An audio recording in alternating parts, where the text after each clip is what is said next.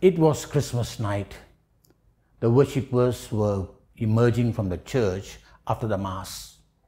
It was cold, windy, and snowing. And there he saw two figures huddled together, sheltering near some stairs. He became angry and shouted at God, Why do you allow this to happen? What are you going to do for them? And in that cold, he heard a voice say, I sent you.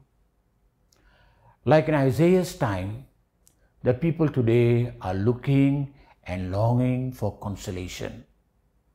A decadent temple, a nation for the rich, and the ritualistic religion had taken over. Safeguarding the institutions and the priesthood became important. They were longing for consolation, to be fed, to bear up their mourning, to wipe away their tears, and to take away their shame. Today, I see it happening in the diocese. I see it happening again all over the world. How did the people then manage with the trying and testing times? In Isaiah's time, the words of consolation of the prophet was their hope. The people began to see God and His Word as their hope and salvation. To the Philippians, Paul unveiled the God who enabled them to endure, to adapt, to live in any situation, to embrace our times of wealth and poverty, fullness and emptiness, plenty and little, and good times and hard times. They saw God as their strength.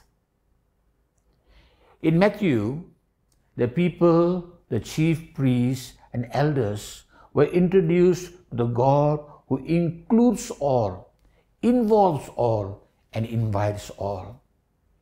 But not all abided or wanted to be invited. There were those who rejected the invitation, abused the messenger or messengers who were sent to them, and did not abide the terms of the invitation. And they were not dressed for the occasion.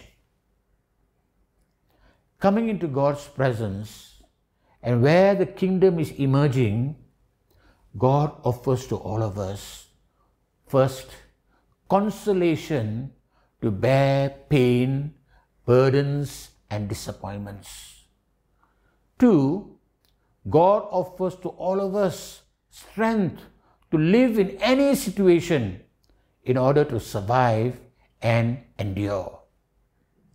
Three, God offers to all of us inclusive relationship that includes the new Catholics, the homeless, the jobless, the migrants and the refugees and the victims of trafficking.